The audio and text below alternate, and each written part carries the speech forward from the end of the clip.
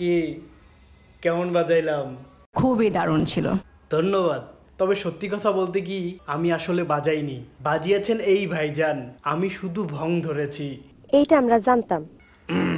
যাই হোক। আজকের মূল আয়োজনের পূর্বে তার সম্পর্কিত একটা ছোট্ট গল্প বলি। বলো বলো। আপনারা তো সবাই রাকাম্মাকে চিনেন।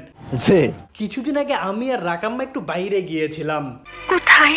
একটা জায়গা ধরে নেন। তো সেখানে হঠাৎ এক বাসিওয়ালা নজরে আসে আর রাকাম্মা বাসিওয়ালার সামনে বসে জিজ্ঞেস করে আপনার বাসির পাওয়ার কেমন?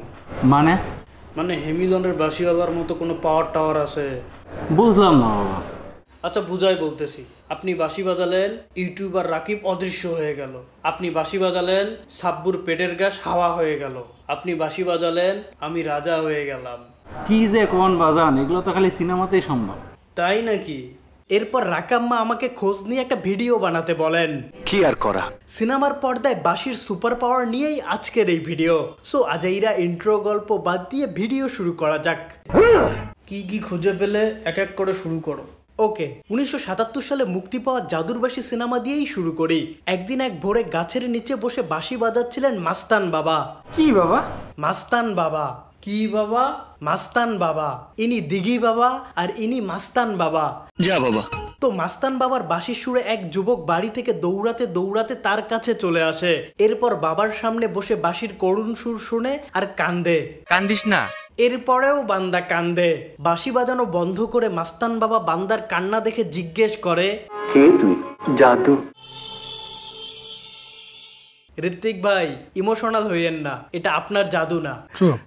যাই হোক জাদুর কান্না দেখে মাস্তান বাবা ইমপ্রেস হয়ে যান আর বাসিটা জাদুকে দিয়ে দেন। আমারই বাসি আজ থেকে তুই বাজাবি। পাশাপাশি জাদুকে মারাত্মক গোপন একটি সুর শেখান। পরে আমি এমন সুর শিখামু যা মানুষকে পাগল বানাইব। এরপর বাসিটা জাদুর হাতে তুলে দেন। কিছুদিন পর একটা মিষ্টির দোকানে জাদুর চাকরি হয়। স্যার মিষ্টি খাওয়াইবেন না? জাদু ভাই খাওয়াইয়েন না। এই মহিলা সবার কাছে মিষ্টি খেতে চায়। চুপ চুপ। জাউগা জাদু দোকানে কাজ করছিল এই সুযোগে গ্রামের কিছু মেয়ে জাদুর বাসিটা চুরি করে। একজন সেই বাঁশি বাজান। বাঁশির শব্দ শুনে জাদু বলে আমার বাসি এরপর জাদু তাদের থেকে বাঁশি নিয়ে বাজাতে থাকে আর নিজের পারফরমেন্সে নিজেই মুগ্ধ হয়ে যায়। আর এদিকে মেয়েরা জাদুর দোকানে সব মিষ্টি গরুকে খাওয়ায় যার ফলে জাদুর চাকরি হারায়। পাশাপাশি মালিক জাদুকে মেরে তক্তা বানায়।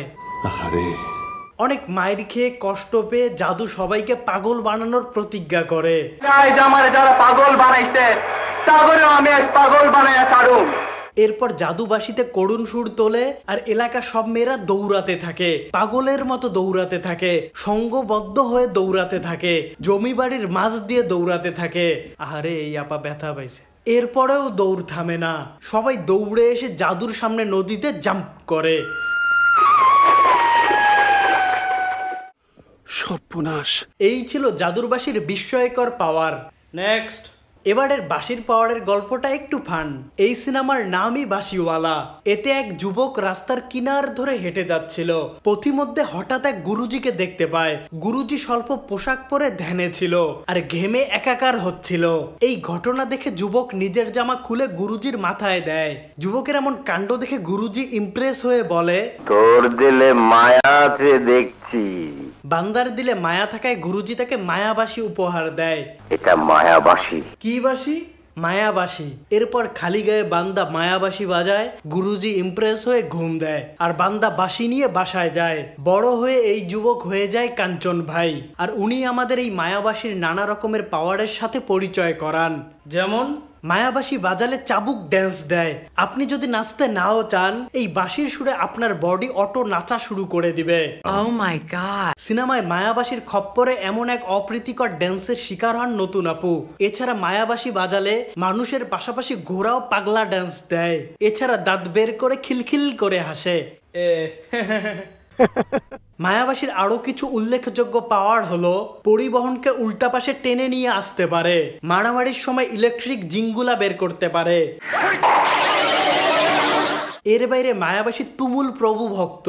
বিষয়টা একটু ব্যাখ্যা করবেন? করব না কেন? অবশ্যই করব। নায়কের মা বাসি লুকিয়ে রেখেছেন। আমার বাসি কোথায়?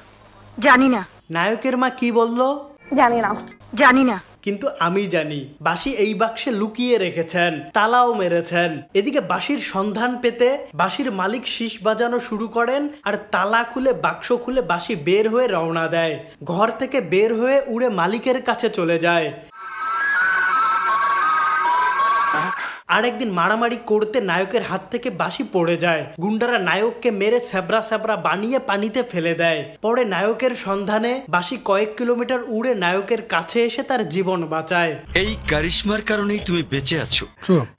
মালিকের প্রেম ভালোবাসাতেও বাসি তার পাওয়ার দিয়ে সাহায্য করত। নায়িকা বাসায় কিন্তু নায়ক দেখা করতে চায়। এখন খবর দিবে কীভাবে? কীভাবে? এজন্য নায়ক বাঁশি বাজায় আর নায়িকার ঝুমকা পাগলা ড্যান্স দেওয়া শুরু করে। সিগনাল পেয়ে নায়িকা দৌড়ে আসে এবং ভালোবাসা করে। ভালোবাসা করতেছে স্যার। তবে মাঝে মাঝে সিগনাল পেয়েও নায়িকা দেখা করতে যেতে পারতো না। কেন? পারিবারিক কারণে। যাও কক্ষে যাও। তখন নায়িকার ঝুমকা উড়ে নায়কের কাছে চলে আসতো। এতে নায়ক বুঝতো নায়িকার বিপদ।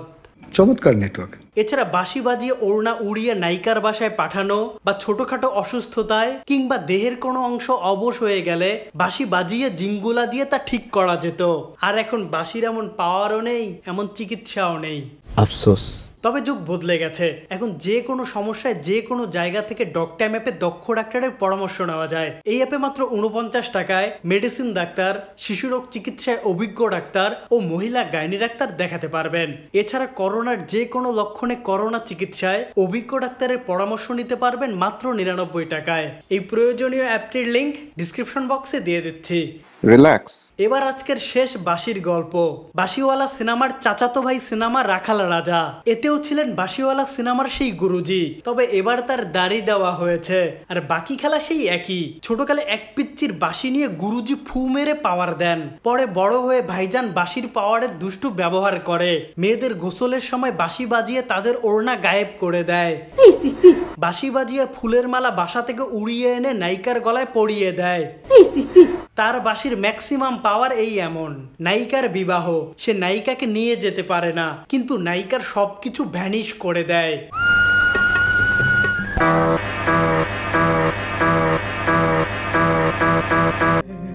এসব হচ্ছে দেখে সোনা দানা ডালা দুল মেকআপ সব। এইটা কোনো কথা? সিনেমায় আবার ওনার নাম ছিল? রাজা! আমি! রাজা! ইনিও রাজা। উনিও। রাজা। তিন রাজায় মারামারি করেন আমি যাই। রাকাম্মা আপনিও যান। আমি পাওয়ারওয়ালা বাসি চাই না হলে যাব না।